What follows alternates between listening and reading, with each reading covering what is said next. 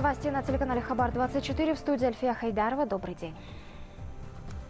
Нурсултан Назарбаев от имени казахстанцев и от себя лично поздравил избранного президента Республики Армения Армена Саркисяна. Далее цитата «Уверен, что ваши профессиональные навыки и жизненный опыт позволят достигнуть дружественной Армении новых успехов на пути ее динамичного развития. Надеюсь, что основанные на дружбе и взаимовыгодном сотрудничестве отношения между Астаной и Ереваном будут и впредь развиваться во благо наших стран, благодаря вашей активной поддержке». Конец цитаты. Глава государства пожелал здоровья и успехов президенту Армении на ответственном посту, а всему народу страны страны мира и процветания. Напомню, нового президента Армении избрали накануне. Армен Саркисян – кандидат от правящей партии, бывший премьер-министр. Примечательно, что нового главу государства впервые определял не народ, а парламент. За Армена Саркисяна проголосовали 90 депутатов, против 10. Проведение выборов в новом формате стало завершающим этапом конституционной реформы по трансформации Армении в парламентскую республику. Новоизбранный президент вступит в должность 9 апреля этого года. Свой многолетний опыт, знания и всю энергию я направлю на выполнение обязанностей президента Армении, на служение нашей республике и ее народу. Безусловно, я полагаюсь на вашу поддержку и участие в будущих победах ради граждан Армении. На 30 мест в городских и районных маслихатах Кустанайской области претендует 41 кандидат, 15 из которых выдвиженцы от политических партий. В общей сложности по своим избирательным округам должны проголосовать более 20 тысяч человек. С 5 марта к работе приступит участковые комиссии. Им предстоит проверить внесенные данные по каждому избирателю. День выборов назначен на 25 марта. В ближайшее время кандидаты будут проводить агитационную работу будут э, встречаться с избирателями, размещать свою печатную продукцию, раздавать людям, чтобы они знали о том, с чем он идет в депутатский корпус, какие он собирается решать вопросы, проблемы данного ли округа, либо в целом региона, в котором он проживает. Вот э, этой работой они сейчас будут заниматься. Почти 90 проектов по карте индустриализации реализованы в Кустанайской области за время первой и начала второй пятилетки государственной программы. На плановую мощность вышла половина новых предприятий, к проблемным отнесены два из сферы агропромышленного комплекса. Это комсомольская птицефабрика, которая простаивает пятый год из-за отсутствия э, оборотных средств. Решить проблему взялся новый инвестор. В конце текущего года здесь планируют получить первую продукцию. Сложнее с маслозаводом в областном центре. Объект ввели в эксплуатацию в 2012 его мощность более трех с половиной тысяч тонн подсолнечного масла в год. Однако вложения не оправдались. Сейчас предприятие проходит процедуру банкротства. Насколько она законна, местные власти намерены узнать с помощью привлечения соответствующих органов. Агентство по противодействию коррупции, департамент госдоходов, э, департамент внутренних дел, значит, будем заниматься. На законных основаниях будем привлекать. Как это так? Экспертизу надо делать. Банкротный управляющий тоже никаких мер не принимает. Ни одного документа не оставили, уничтожили документы. Просматривается лжебанкротство, лже, значит, э, увод денег. 88 миллионов тенге бюджетных денег. Механизмы поддержки женского предпринимательства на селе обсудили во время республиканской конференции. Кроме того, Общественный фонд «Социальная динамика» совместно с компанией «Кока-кола» и Коалицией за зеленую экономику и развитие G-Global объявили старт ежегодного конкурса «Кока-кола Белестере» на лучшие бизнес-идеи среди женщин из глубинок. По данным ЮНИСЕФ, женщины составляют примерно половину населения Земли и выполняют около 70% всей работы. Однако, несмотря на это, зарабатывают лишь 10% от мирового дохода. С 2013 года в Казахстане существует проект Coca-Cola Белестере. Представительниц прекрасного пола обучают основам предпринимательства и помогают в разработке бизнес-проектов. Цель этой программы прежде всего э, дать возможность женщинам реализоваться, поверить в свои силы и обрести уверенность в себе. Если женщина успешна, э, если она работает, если она самореализуется, то успешное общество, э, а соответственно будет успешной и наша компания. Coca-Cola Белестеры – часть глобальной программы Five by 20. К 2020 году компания планирует вовлечь в бизнес 5 миллионов женщин. Со 2 марта и до 10 сентября любая желающая жительница казахстанского села может отправить заявку на участие в конкурсе. Потребуется лишь описание уникального проекта и бизнес-план с расчетами. По итогам 10 победительниц получат грант на развитие в размере 4 тысяч долларов США. За пять лет более 9 тысяч женщин посетила э, тренинги по основам бизнеса. Но только 650 из них них участвовали в конкурсе. И только 41 по итогам 2017 года получили грант. То есть поэтому в основе все-таки сначала обучение и консультационная поддержка, и э, только мотивационным компонентом служит конкурс. Для тех, кто хочет стать частью программы Coca-Cola Белистеры, испытать удачу в конкурсе, а также открыть свой успешный бизнес в селе, на сайте ccb.kz есть вся необходимая информация. Сабина Тургаева, Ермек Кеншимбек, Хабар 24, Астана.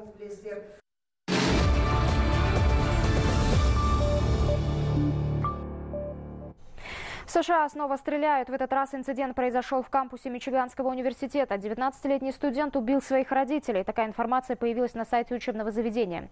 Как сообщается, стрелок использовал оружие отца, который служил в полиции. Злоумышленник с места преступления скрылся. Отмечу, очередная стрельба в учебном заведении произошла на фоне протестов против свободной продажи оружия. Активисты опасаются, что расстрелы могут стать повседневной реальностью Америки. Напомню, в феврале 19-летний юноша устроил стрельбу во флоридской школе. Злоумышленник убил 17 человек. Эти события вызвали волну протестов и стали причиной возобновления ожесточенных дебатов законодателей. Ряд местных ритейлеров, не дождавшись решения правительства, самостоятельно ужесточили правила продажи оружия.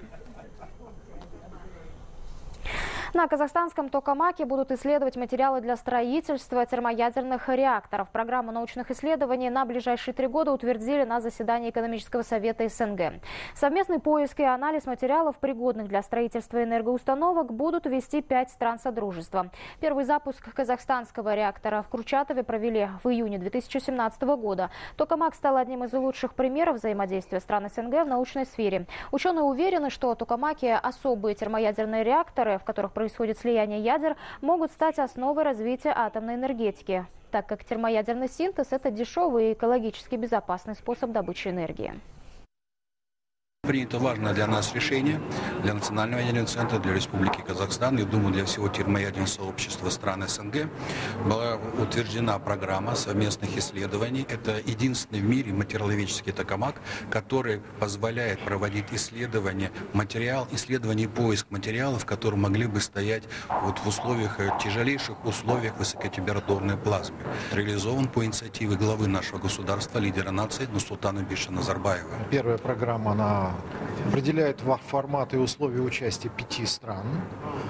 Казахстан, Белоруссия, Россия, Армения, Кыргызстан.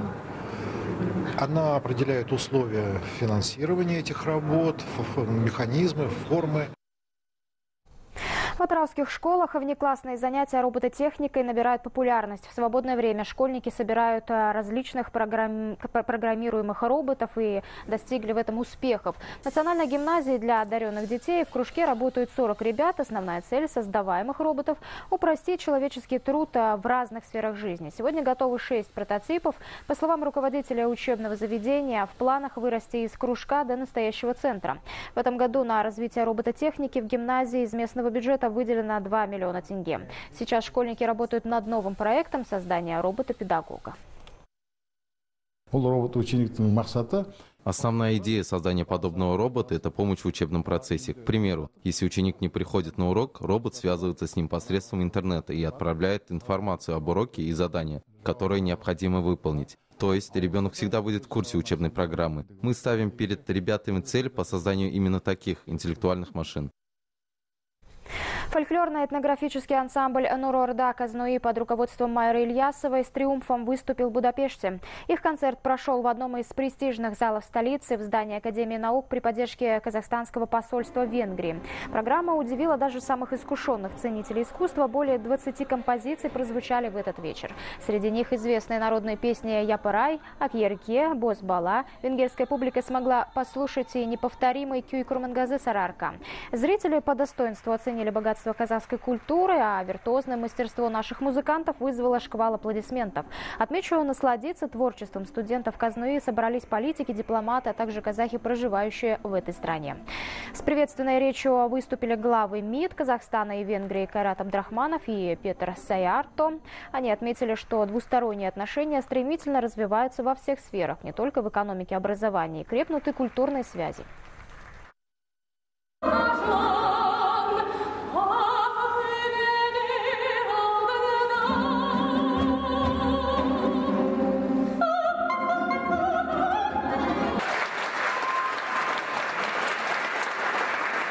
студенттеріміздің қуанышында шек жоқ Почти 10 минут публика рукоплескала, не отпуская наших музыкантов со сцены. Они тут же сыграли на бис еще один кий. Наши студенты счастливы. Концерт прошел на очень высоком уровне. Казахская традиционная музыка уникальна. Ее с восхищением встречают во всех странах. Благодаря искусству в мире еще больше узнают о Казахстане, о его богатой самобытной культуре. Uh, uh, Мне очень нравится казахская музыка, а мой любимый инструмент — это дамбра. Она как гитара, только только с двумя струнами. Но когда все инструменты звучат вместе, это уникально. Они как будто имитировали шум реки, свист ветра и другие звуки степи. В этот момент, благодаря музыкантам, я почувствовал энергетику Казахстана и как будто побывал на казахстанской земле. Это очень профессионально. Я в восторге. Масштабный флешмоб, посвященный празднованию Наурыза, прошел в Астане. Прямо в фойе нового железнодорожного вокзала Норлы-Жол почти две сотни студентов выстроили слово «Наурыз» на латинице. Необычный флешмоб организовали сотрудники государственной концертной организации «Казах-концерт». Участниками стали студенты двух творческих вузов столицы Казахского национального университета искусств и Казахской национальной академии хореографии. Они исполнили всеми любимые казахские песни и подарили всем посетителям книги отечественных поэтов и писателей. Словам организаторов, мероприятие будет иметь продолжение и в других городах республики. Так, участники столичного флешмоба передали эстафету алматинской молодежи. В Павлодаре состоялась официальная церемония зажжения огня седьмой зимней республиканской универсиады. Очевидцами красочного шоу на главной ледовой арене спорта при Иртыше стали более тысячи зрителей.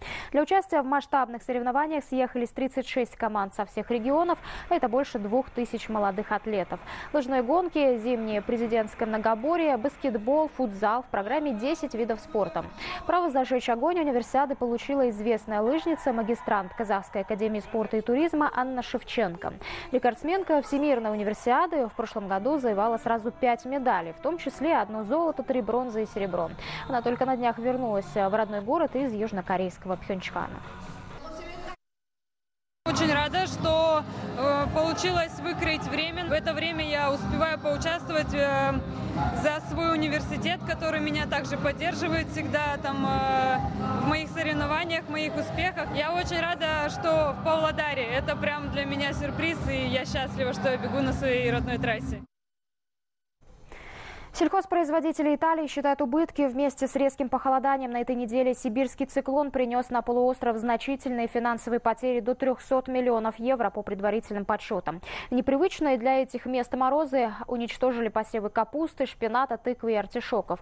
Многие из фермеров потеряли весь урожай зимних культур. Серьезное опасения аграриев, связанные с виноградниками и оливковыми рощами. Температура воздуха в некоторых районах Италии опустилась до минус 17 градусов. Олива, к сожалению, очень чувствительна к холоду, к сильному морозу. В ближайшие дни нам предстоит оценить ущерб производителей оливок, и он может быть огромным. Если умирает оливковое дерево, его нужно заменить, то есть посадить другое на его место. И около 5-6 лет после этого ждать урожая. По этой причине владелец оливковой рощи может лишиться дохода на несколько лет. В завершении выпуска о погоде в нашей стране в ближайшие дни в стране из-за циклона с Каспийского моря синоптики обещают осадки в виде снега и дождя, а также туман и гололед. Циклон приведет к интенсивному таянию снега, от чего возможно подъем уровня воды и подтопление в Кызылординской, Южно-Казахстанской, Жамбылской и Алматинской областях. В Астане морозы пойдут на спад. По городу Астана 3 и 5 числа ожидается погода без осадков. 4 марта к концу дня снег. Повышение ночных температур от 24 до 16 градусов мороза, а дневных от 12 до 4. По городу Алмата 3 и 4 числа ожидаются временами осадки, туманы. Повышение ночных температур от э, 3 до 1 градуса мороза и дневных от 6 до 11 градусов тепла. А я напомню, эти и другие новости доступны на сайте 24KZ. К данному часу у нас пока все. Спасибо за внимание и до встречи в эфире.